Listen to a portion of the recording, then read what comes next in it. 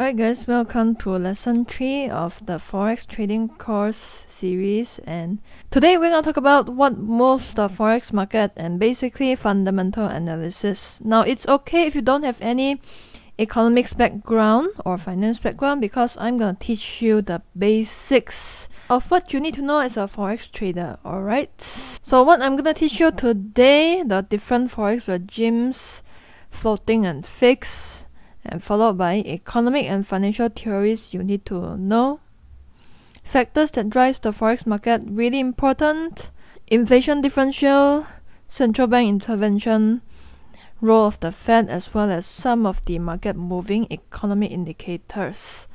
Now make sure you have your pen and paper ready because you are going to need it and some more if you just listen you wouldn't be able to absorb you gotta write things down to be able to remember things okay so if you don't know who i am i'm a singapore speaker singapore based speaker but i also speak in many different countries thailand vietnam malaysia and most of the speeches in fact all of the speeches that i made overseas are all free so to those people who have an opinion about what i do at least i'm going around helping people while they are there doing nothing with their life and typing. So just want to let you know that Forex is not for everyone because it carries a higher level of risk as compared to bonds, fixed deposits, and make sure you take the time to read this. So if you haven't went through lesson 1 and lesson 2, make sure you go through that. Lesson 1 I talk about all the basics you need to know, then lesson 2 is leverage and margin. Make sure you go through that before you go through lesson 3 okay otherwise you'll be confused there are many different factors that drive the forex markets. In fact this morning i went through an interview a radio interview and the dj asked me what are the factors that drive the forex markets? All of a sudden i'm like oh my god there are so many factors. I don't know how to summarize everything in 10 seconds 15 seconds so. But basically some of the factors are economic data for example nfp interest rates. Now the thing is you need to understand that there's a significant difference between how professional traders trade and how retail traders trade. I find that way too many retail traders how they operate is that they trade based on NFP numbers and they use this to determine their trading decision. Like if NFP comes out a certain number, which is an absolute number, it's not even a relative percentage number. They trade based on that, and this is a mistake that a lot of retail traders make. They trade based on NFP data alone. You need to understand that NFP it is a lagging economic indicator. Why would you trade into something that is lagging behind price? So you gotta learn how to differentiate between the leading economic indicators as well as the lagging economic indicators. Because just like technical analysis there are leading lagging indicators. In economic factors there are also leading and lagging economic indicators. Alright? So try not to trade just like how the typical retail traders trade. You gotta look at what the professional traders look at. Understand what i'm saying? So the second factor is political events commodity prices, central banks, technical levels, societal and ad hoc events, stock markets, natural disasters and foreign affairs, supply and demand, currency regimes, technical levels, and also market sentiment. Now, at the end of the day, it all comes down to one thing, which is market sentiment. Basically, it is how traders feel. Are they feeling optimistic, pessimistic? And all of these factors are going to change the way traders feel. Okay? It's how they perceive economic data, how they perceive political events, how they perceive central bank actions that really matters. So basically, you need to understand that market psychology and perception, okay? Investors and traders' perceptions on those events that would eventually drive supply and demand because at the end of the day, it is still driven by supply and demand. Because of the fact that this is more of a basic course for beginners, let's talk about the ones that are highlighted first, okay? Central banks, economic data, and also currency regimes. For the other factors, I'm going to go through it in a future courses. And if you support this channel, I'm going to launch it for free over here, okay? Right, so how do you become a good fundamental analyst? First thing first, most important thing, you gotta work hard because fundamental analysis takes a lot of studying, a lot of patience to master. It's not an overnight thing. Aside from that, you need to have a long-term trading horizon. This means that you need to be willing to hold your trade for weeks and months because you know the approach of trading used by most professional traders is most of them they are long-term trend followers and hence they would use about 70 to 80% fundamental analysis FA and then maybe about 30 20 to 30% of technical analysis. And then when it comes to retail traders, they are completely different because they focus mostly on technical analysis.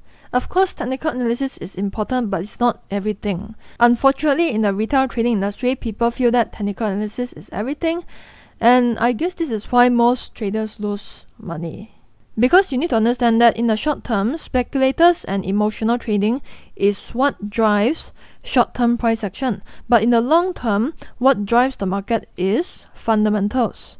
Even if you're a scalper day trader, you need, still need to understand the whole big picture of things. You cannot ignore fundamental analysis completely.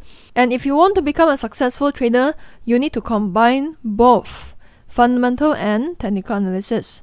The other thing is that you need to use fundamental factors to generate ideas for trading and also have an investor mindset. This means that you need to have the patience to hold your trades for a couple of weeks, for a couple of months. Aside from that, you're gonna understand the factors that drive markets in a long term, which is what I'm gonna teach you today, okay?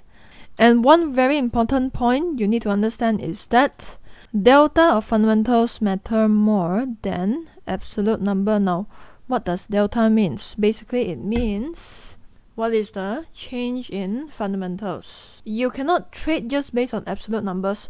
This means that the number that comes out is not representative, it's not relative to anything. Like the number can be positive, but then the currency can still go down because it is less positive as compared to last month. So you cannot just trade based on the absolute number alone. You gotta compare it based on percentage changes. This is what matters. Not the number itself, but the percentage change that matters. Because if you see a country with poor fundamentals, and then this month it still comes out as a really bad number, but the bad number is better than last month, it's still an improvement, the currency can still rally, it can still go up.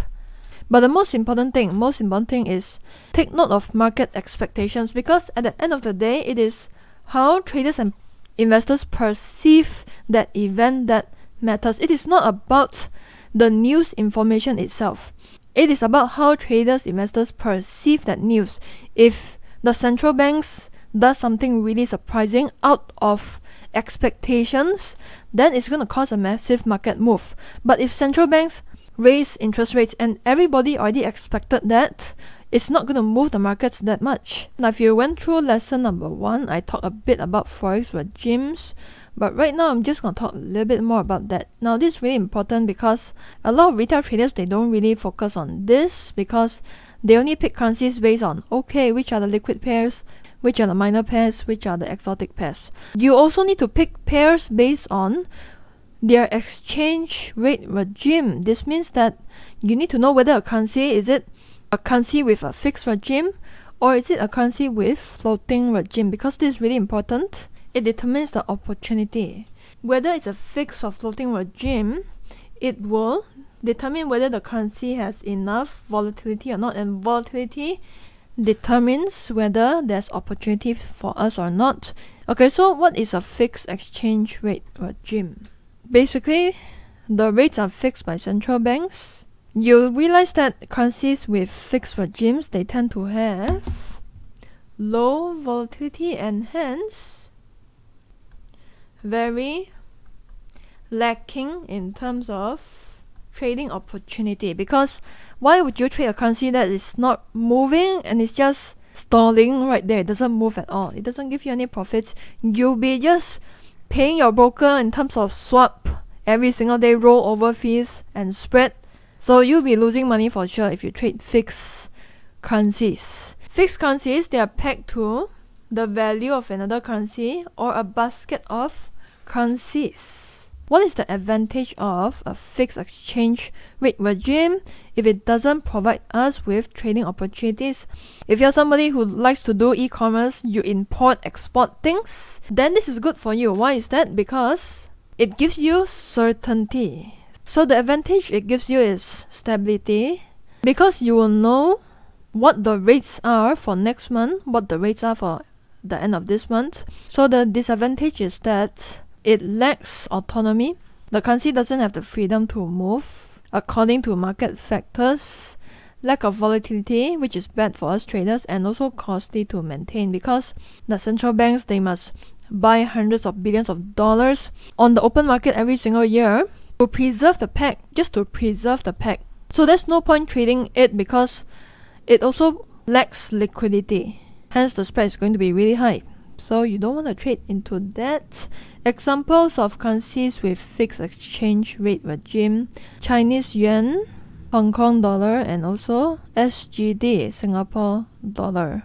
Because I'm based in Singapore, why is it that Singapore dollar have a fixed exchange rate regime? Is because so that the country has more control over imported inflation because because one of the factors that drive the Singapore economy aside from the human capital is also Singapore's exports, okay? The export and import industry. So Singapore dollar is pegged to a basket of currencies. So this is SGD, USD, and this is Chinese yuan, USD.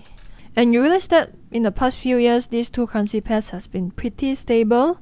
So if you trade these two currency pairs, don't expect a lot of profits, okay? Because aside from the fact that the currency pairs don't really move much, the spread is really high, and also because the liquidity is so low, it is not that predictable. So if you compare Danish krone with USD, even though Danish krone is a fixed regime currency, but then it still has some level of volatility because the base currency is USD. So how about floating exchange rate regime? So what is a floating exchange rate regime? Basically, this currency is allowed to float freely according to market drivers, meaning it's not as controlled as compared to fixed regime currencies, and it's better classified as managed floats due to central banks intervention. So it floats freely according to market drivers, but then central banks can still come in and intervene. Okay, and hence some people call this the managed floats. So intervention is still possible even under this regime. Now, even for fixed regime currencies, central banks can still intervene. So you can also classify them under managed floats because central banks at the end of the day they can still intervene and move the currency pairs. Doesn't matter if it's direct intervention or verbal intervention, it is still considered intervention. Right, so to put it simply, make sure you go and trade currencies with floating regimes so that it gives you opportunity to make money. Okay. So some of the things that drive currencies with floating rate regimes are the economic factors. So there are tons of economic factors that you can look at. And if you have went through economics in school, you're going to be pretty familiar with it. If not, then I'm going to teach you right now, okay? The first economic theory you need to understand is theory called purchasing power parity PPP. And basically it's a theory which states that the exchange rates should move in such a way that it costs the same to purchase the same goods and services in two different countries. Basically, PPP states that in an ideal market, okay, in an ideal market or in an efficient market, two goods in two different countries should cost the same. For example, hamburger in two different countries should cost the same. There's no arbitrage opportunity at all. But you know what? If this is the case, then e-commerce industry wouldn't exist. The flipping sneakers, flipping products industry wouldn't exist. Why is it that some people can buy cheap products, for example, from China, Vietnam, and then resell it at a higher price in their own country? Because in the real world, markets are not entirely efficient. Then why do we need to focus on PPP? Is because it helps us to forecast currencies in the long term. So why is it that there are price arbitrages, there are price disparities? It's because, for example, a burger in Eurozone, a burger in the United States, they are priced differently. You cannot expect that your dollar is going to adjust all the time just to remove the price arbitrage. You know what I'm saying? So people tend to compare hamburgers and hence this gives rise to an index called the Big Mac index. And you need to understand that PPP it might take up to years for it to be priced in. So some of the flaws, downsides, the assumption is zero transaction cost which is not that practical because when you order something from overseas, you need to incur shipping costs, right? And also assuming that there's no tax implications, again, when you buy sell something, you need to pay tax. And another flawed assumption is that all goods and services are tradable. And you know that there are some goods and services they cannot be exported. It's just not practical to do that. So another theory you need to take note of is interest rate parity and this is something that is pretty common in economics as well. So what is interest rate parity? It's basically a theory that assumes that the interest rates in two countries will adjust to equilibrium levels. Again, in the practical world, not so practical if you know what I'm talking about. So no arbitrage opportunities. This means that let's say for example if US deposit interest rate is slightly higher than euro deposit interest rate, then euro interest rate is going to adjust upwards to the same level as US interest rates. And you know that again, in a real world, this is not possible. In a real world, it is completely different. Countries with higher interest rates, their currencies tend to appreciate because investors are going to put their capital into a country where there are higher interest rates to get higher returns. The theory says that countries with higher interest rates are going to depreciate. Okay? But in the real world, currencies with higher interest rates are going to have their currency appreciate. So you see the difference? So what are the impact of interest rates on the economy? There are many different impacts. Interest rates, they are affected by the rate of inflation. The Fed central banks look at inflationary numbers and then they make decisions based on that. Okay? Decisions. So is interest rates a leading indicator or lagging indicator? A lot of retail traders they think that interest rates are a leading indicator not so much because they are lagging factors and they lag behind the leading indicators. But you still need to take note of it because central banks look at inflation rates and then react to it and hence change their interest rates based on that.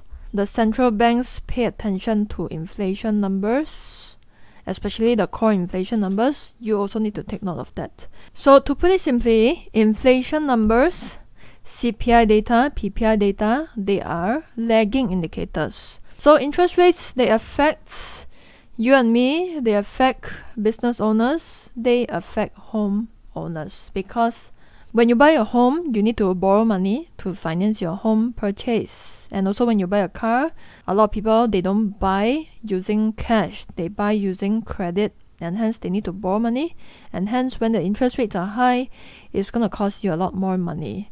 Same thing if you're running a business, you need to borrow money to run your business. If interest rates are high, not so good for you as well. But high interest rates isn't bad for everyone because example if you're investing into bonds certificate of deposits high interest rates actually give you more returns higher returns and also if you're a carry trader high interest rates are also good for you because as a carry trader carry trader you're trading based on interest rates differential right? High yield currencies and low yield currencies. So if the interest rate differential is high, then the more returns you're going to get in terms of rollover swaps. Because if interest rates between two different countries is the same, you wouldn't benefit as a carry trader. You only make money in capital gain, but you wouldn't make money in terms of interest rates. So the formula for interest rate parity, right? And this is a model based on Forex forward agreement. If you study Forex derivatives, you come across this formula. It's pretty common and it's one of the easier formulas that you come across. So let's say for example, if US interest rates is at 2%, for example, example only, okay? And Eurozone interest rates, let's give you a good number. For, um, let's say it's about 5%. And the current euro dollar rate is say for example 1.4 you just apply this formula okay US interest rates 1.02 divided by Eurozone interest rates based on the formula okay if you have went through secondary school you know the math times your dollar rates which is 1.4 and that gives you still need the calculator 0.05 times 1.4 1.36 okay so this is how you calculate. This formula is basically for those who are math geeks. But like I said you know in the real world there are a lot more things you need to take note of and not just applying a formula then you can determine oh where the price is going to go okay so to trade fundamentals properly you need to look at a couple of things absolute numbers now like I said this is not that important because a number is just a number What's more important is how does it compare to the previous numbers? How does it compare to market expectations? So what is more important is definitely percentage changes and then followed by yield curve. Okay, very important. Yield curve is something you need to take note of even if you're a forex trader. There are different types of yield curves. The first type is the normal yield curve and you can see that it slopes upwards and what does this mean? It means that long-term bond rates are higher than short-term bond rates. And this is normal because if you want to get more returns for your bonds, you just buy bonds with a longer maturity. But the downside is that your returns might be eaten up by inflation. Without taking into account inflation, long-term rates would be higher than short-term rates. So when there's a positive yield curve or when there's a upward sloping yield curve, it tells you that central banks they are generally optimistic and bullish about the future outlook of the economy. And how about an inverted yield curve? Now we are in a recession. This is not that normal because short-term rates are higher than long-term rates. It doesn't make sense. So what does this tell you? It tells you that recession is going to come. So normally you see that before a recession comes, there's going to be an inverted yield curve. So the next time you see an inverted yield curve, when times are good, you, you gotta prepare to make money because you know why? In a recession is where you make a lot of money. If you know what you're doing.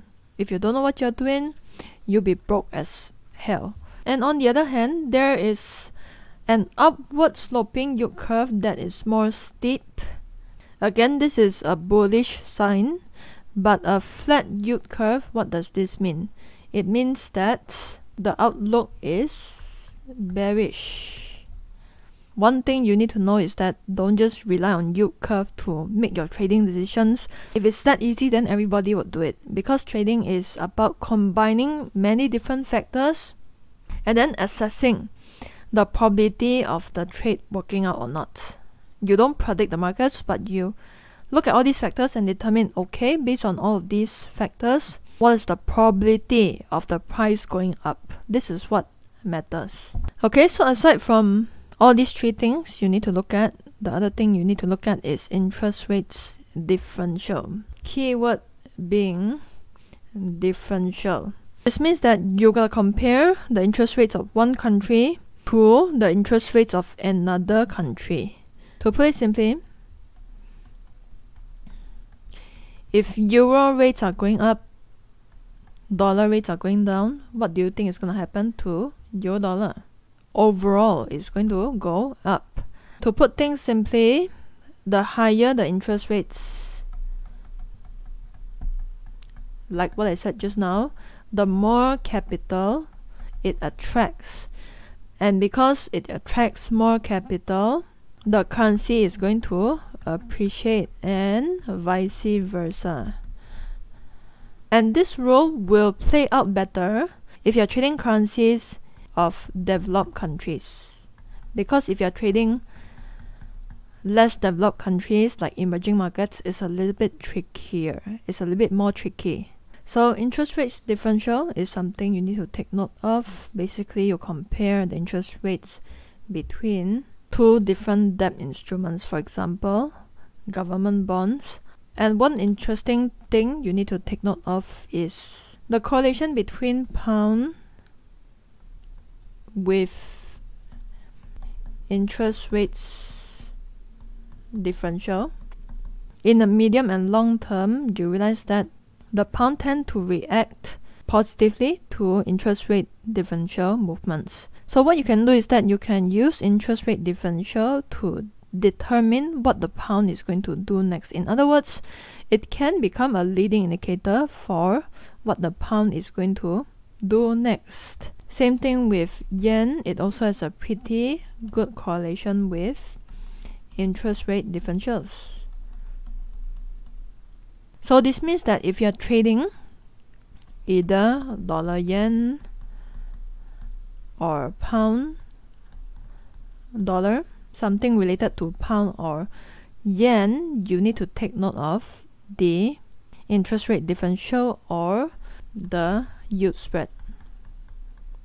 Okay, this is really important. Now, remember, this is when you're trading in the long term if you're holding a trade in the long term because if you're talking about day trading and scalping all this theory wouldn't apply and then you'll be like how come what you taught me is not working you know what I'm saying? So just take note of that. Aside from interest rate differential, you also need to take note of inflation differential, like like what I taught you just now, the PPP. Okay, which says that a product in a country should be the same price as a product in another country, excluding transaction costs, excluding all the extra costs. For example, transaction fees. So let's take a random product because right now masks are selling like hotcakes. Okay. Let's say if masks in the US is expected to increase by 5% next year, whereas the prices in example Eurozone is going to increase by 3%. So what is the inflation differential? Very simple mathematics, okay? 5 minus 3, 2%. This is the inflation differential. So based on PPP theory, the prices of mass in the US would have to depreciate by 2% in order to match the prices in Eurozone. But like I said, in the practical world, again, things are a lot different. Okay, this is just an economic theory. Now, another model you need to take note of, aside from inflation differential, balance of payments. The theory basically says that if a country has a trade surplus or a positive balance of payments value, the currency of that country is going to go up, right? If a country has negative balance of payments, the currency of that country is going to go down.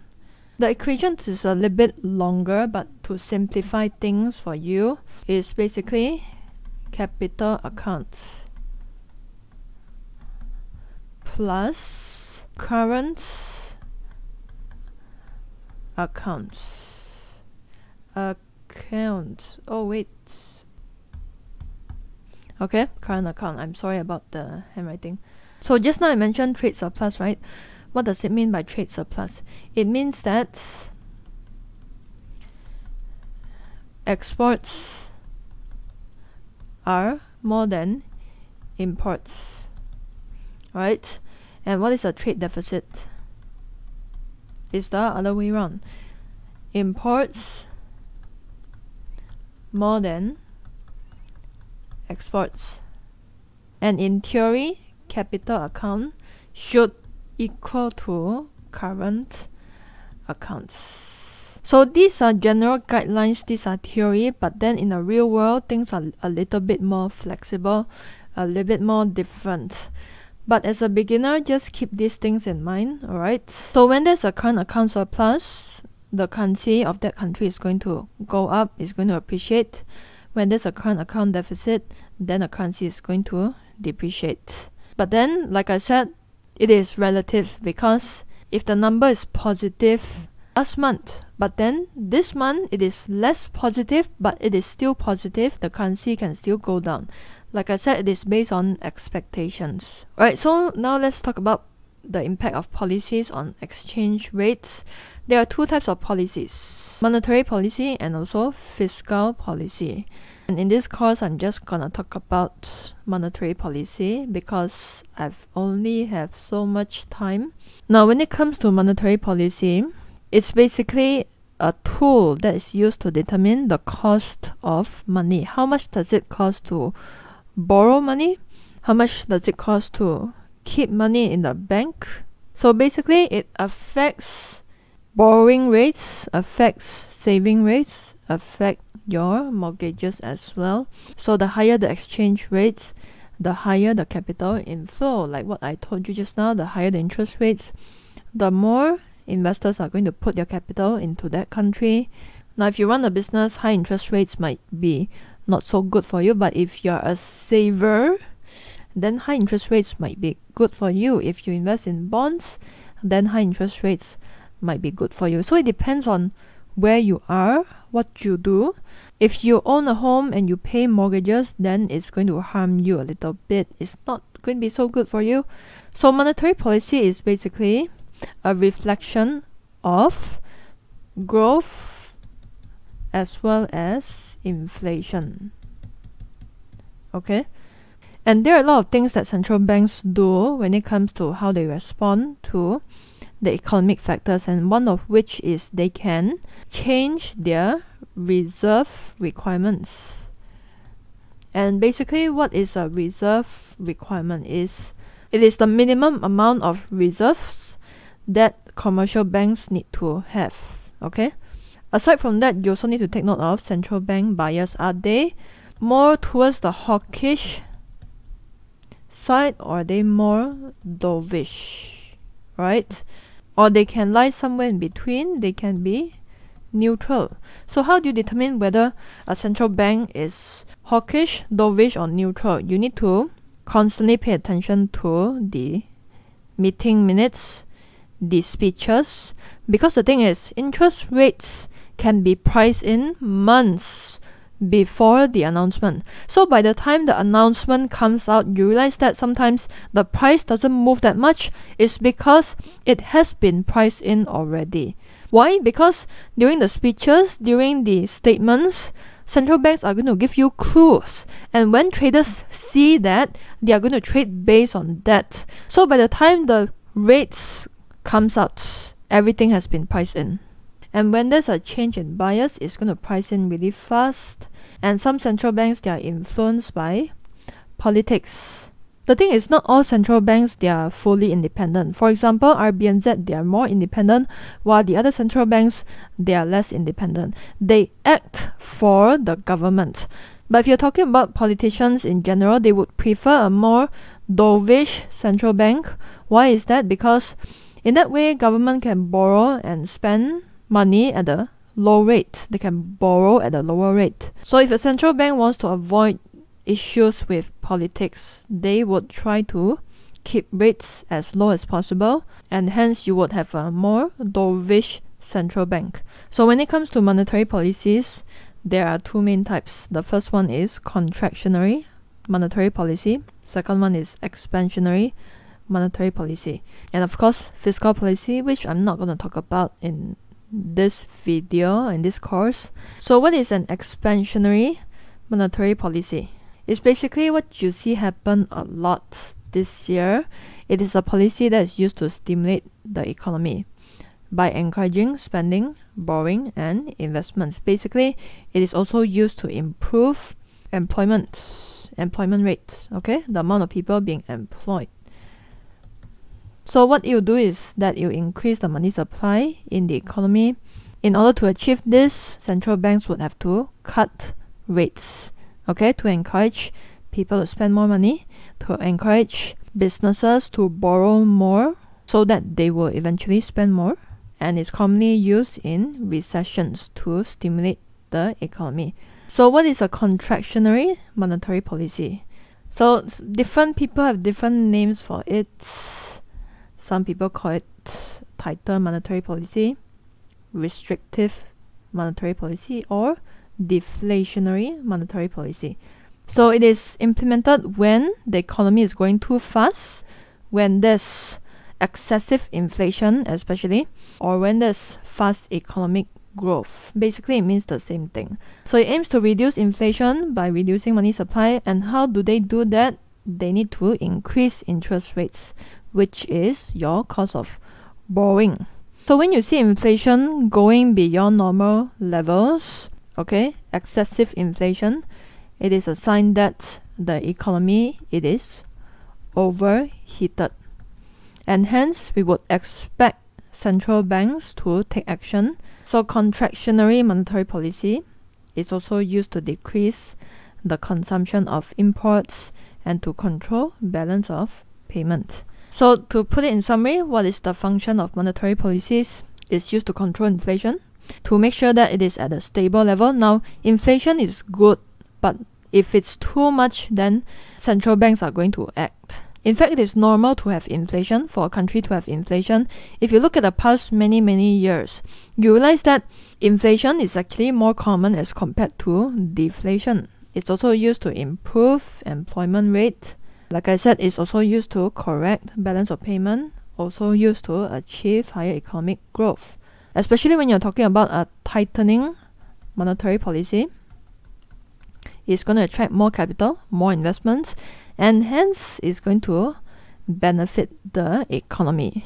If a country has too high of an inflation rate, it's going to discourage people from investing into the country because inflation is going to decrease the amount of profits you earn. So some of the monetary policy tools that central banks have on their plate, reserve ratio, they can change the reserve ratios they can change discount rates, they can influence commercial banks, they can, of course, change the Fed funds rate. And this is what you see a lot this year QE, quantitative easing. This means that central banks would go to the open market and then buy government bonds. So there are many central banks you need to take note of. One of the more important ones is the Fed. So, what does the Fed do? They determine interest rates, of course. They set monetary policies. They determine the amount of money being circulated in the economy, basically the money supply. And also, their mandate is to manage inflation and economic growth, and also sometimes employment rate. Now, some central banks, their main mandate is just inflation alone. They don't really focus that much on employment rates, but the Fed they focus on employment rates as well. So what the Fed does is that they are going to try to maintain a stable rate of inflation, not too high, not too low, and also maintain a stable growth in the US economy. So how does the Fed change the money supply in the economy? Like what I said just now, they go to the open market and then they buy and sell to be specific US Treasury bills. Okay, as you know, central banks, what they do is that they intervene. Now, intervention is not a normal monetary policy response because this is sort of like a last resort. Like if nothing else works, then they will resort to intervention, okay? Because you know central banks they try not to intervene all the time. So it is an unconventional form of monetary policy. It's an act of increasing money supply by buying government bonds, to be specific, US Treasury bills, and mortgage backed securities, and also other assets. Some people call it money printing. So, what central banks can do is that they can buy all these financial assets from commercial banks and also they can buy it from private institutions so that they can inject more money into the economy. They can also buy corporate bonds in the open market. And like I said just now, it can stimulate the economy and it leads to the weakening of the currency. So the currency is going to depreciate. It increases the reserves in banks and bond prices increase, yields drop as you already know. Bond prices are inversely proportional to yields. Okay, and they increase foreign direct investments. So why is it that during a QE, bond prices will increase? It's because these bonds they are normally owned by banks. So when the Fed buys bonds from these banks, they are going to have more cash on hand, right? Hence they are able to lend this sum of cash out to people. And also why does it increase foreign direct investment is because with the low rates, investors will be able to borrow at a cheaper price, right? And hence they are going to invest that capital into other countries with higher expected growth.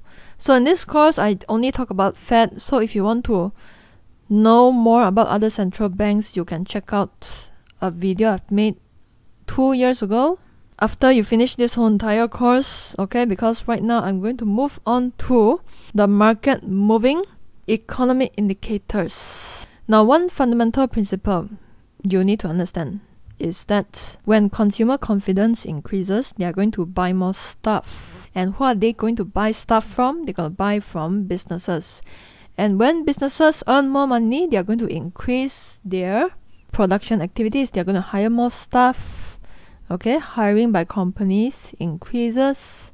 And hence, when they hire more staff, they are going to produce more stuff. Not stuff, stuff. Okay, now I'm going to flip they're going to produce more stuff after hiring more staff. Okay, I got it right. And hence, they're going to increase their sales. They're going to make more money, and hence, when companies do well, stock market is going to increase, and hence currencies are going to rally as well. So this means that when people are employed, when they have jobs, when the labor market is doing well, the stock market will tend to do well. Now, for some countries, manufacturing activity would be very important. Okay? And for some countries, their export, the performance of their export sector, export import sector is going to be more significant. Depending on what drives the economy, which sector contributes to the GDP of that country. For example, if you compare US with Japan, manufacturing activity in US accounts for only about 10 to 15%. Then for Japan, it contributes more to the economy. The Japanese they are very sensitive to uh, strengthening yen because they are very export driven and when the yen strengthens too much it's going to affect their export sector. The yen is more prone to intervention as compared to dollar during normal circumstances. Okay, some of the economic factors you need to take note of. Non-farm payroll. I know that this is what a lot of retail traders like.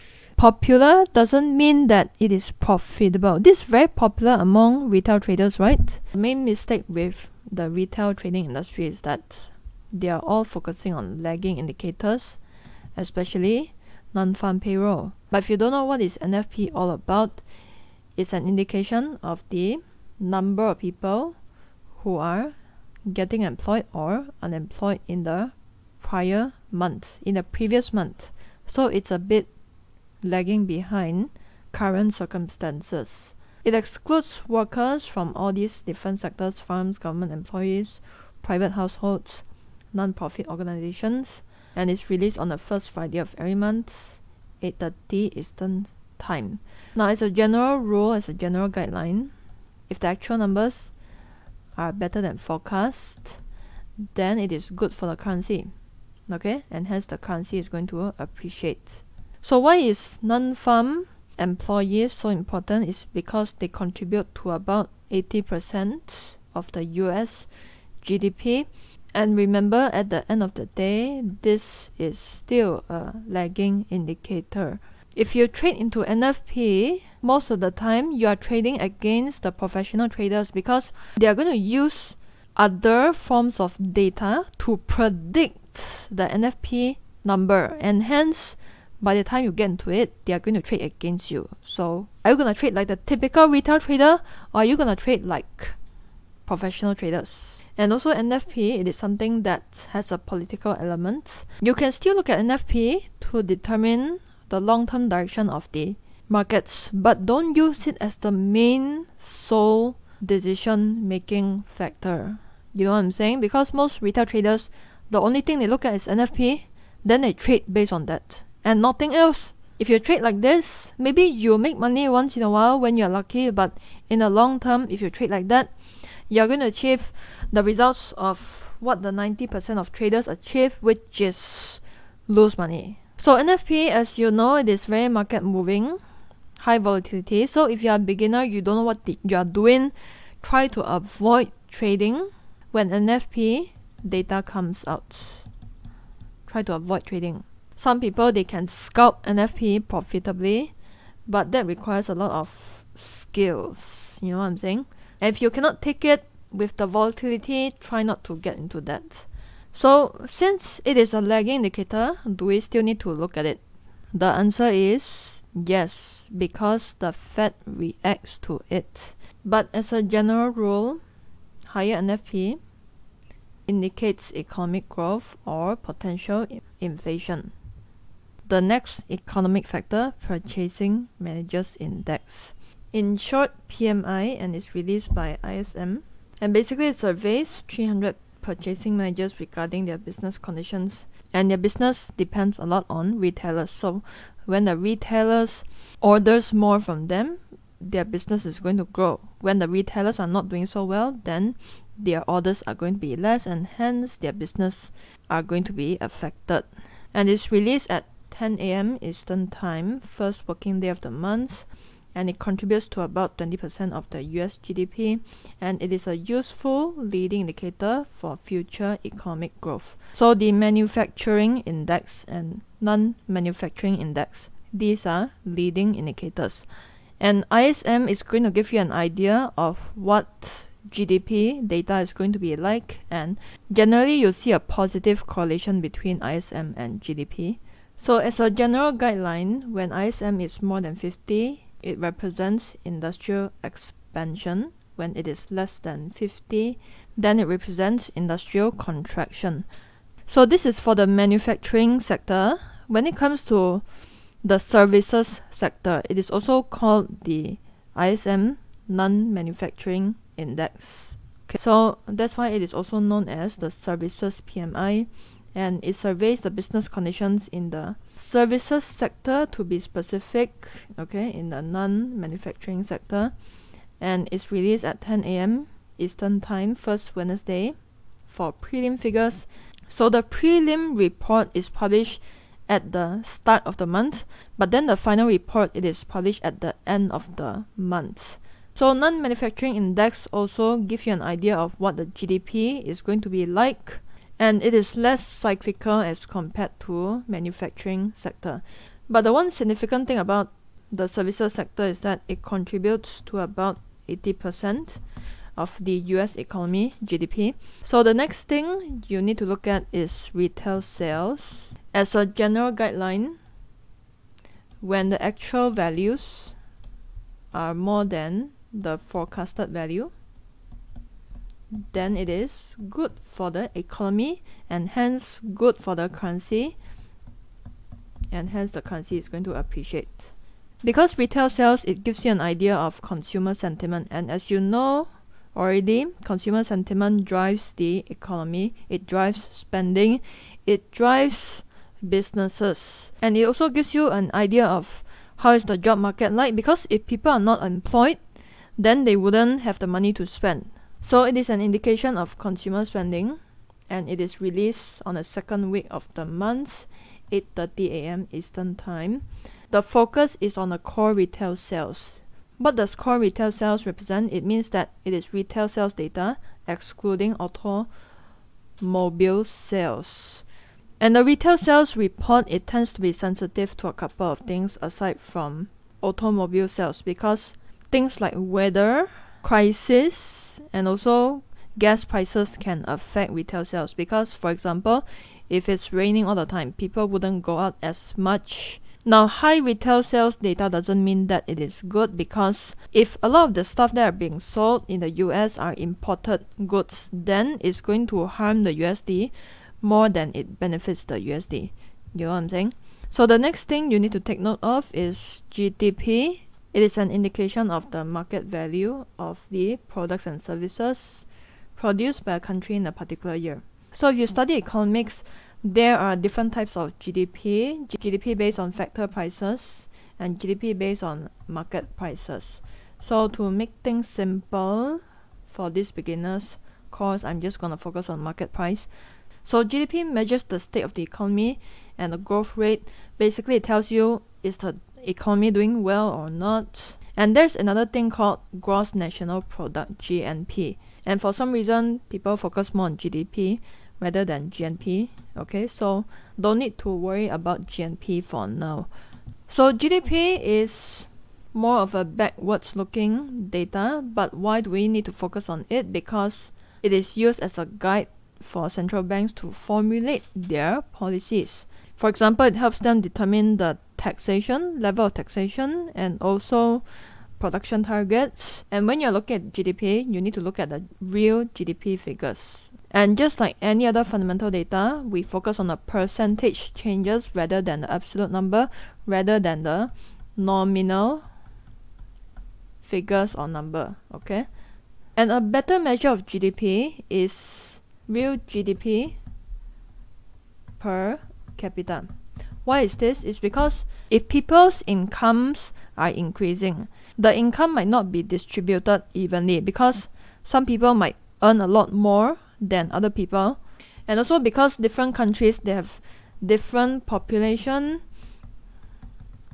size and also they have different inflation rates so if you want to compare GDP among different countries you need to compare the real GDP per capita not the nominal GDP okay. so the GDP formula consumer spending plus investment plus government spending plus balance of trade.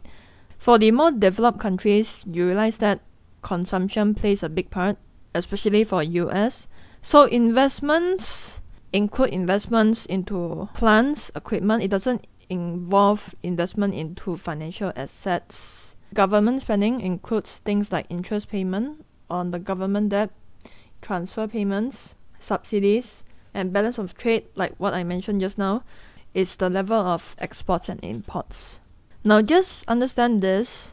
It doesn't mean that if a country has a trade deficit, then it is bad because even though the US imports a lot, but then these US businesses they profit from it because they can buy the cheaper price from other countries and then they sell it at a higher price. So it's not entirely that bad. So the next thing you need to look at is UMCSI It's a measure of financial confidence of 500 consumers and it has a medium to high impact on the forex markets. I would say the impact is more towards medium because it's not that market moving as compared to things like NFP and changes in interest rates. And again, as a general rule, if the actual is more than forecast,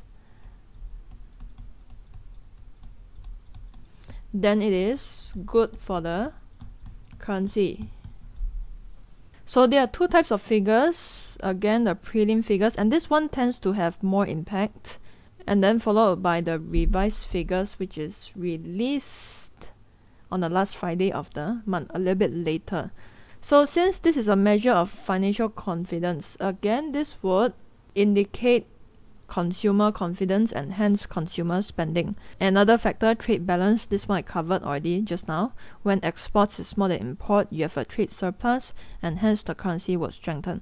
When imports are more than exports, there will be a trade deficit and hence the currency will weaken. Now this is just a general rule in the real world, you need to be flexible about things because sometimes you realize that when the trade balance decreases, the currency can still go up. So aside from trade balance, you also have fiscal balance. It is also known as government budget balance. So to put it simply, it is the amount of money in which the government gets in terms of tax revenue. How much tax are they getting? And it is the difference between revenue received by government and its expenses. So as a general rule, again, when spending is more than revenue, this leads to a fiscal deficit. So if you look back in 2008, this issue was pretty prominent fiscal deficits and also at the same time during the eurozone debt crisis back in around 2009 to 2013 so you need to realize that sometimes markets they pay attention to one factor and sometimes they pay attention to another factor so if revenue is more than spending then you have a fiscal surplus and if you want to learn more things about CPI and PPI, I've already done a detailed video on that. You can go and check it out. In fact, you can look at this whole entire playlist I have, which includes a fundamental analysis course, which is a little bit shorter than this one. And central banks, I talk about it in detail. CPI, PPI, even though again, inflation is a lagging indicator, but then because the Fed look at that and then make decisions based on that, hence you also need to pay attention to it. So some reminders to take note of is the percentage change that is important. It is the expectations which matters most. Okay, and the duration of the reaction will vary depending on various circumstances. And like I said just now, you need to look at the core inflation data because if you look at core inflation, it excludes things like food and energy prices because you know that food and energy prices they are pretty volatile and they depend on the weather, depend on the season. So beware of the temporary distortions. To be safe, just focus on the core data, alright? Central banks focus on the core data, markets focus on the core data, alright? So just follow those. Right, so the core readings are what matters. Next course, I might talk more about economic indicators, go into detail in each of the economic indicators because what I have shared with you today is just a touch and go and it's just on the surface level knowledge. There are a lot of details when it comes to CPI, a lot of details when it comes to GDP, interest rates, trade balance. If you haven't checked out the previous courses, lesson 1 and 2 I'll put it up in the screen above right now and I hope that during this COVID period you can benefit from it. So I hope that you learn some things from this and with that I'll talk to you in the next video course. Bye.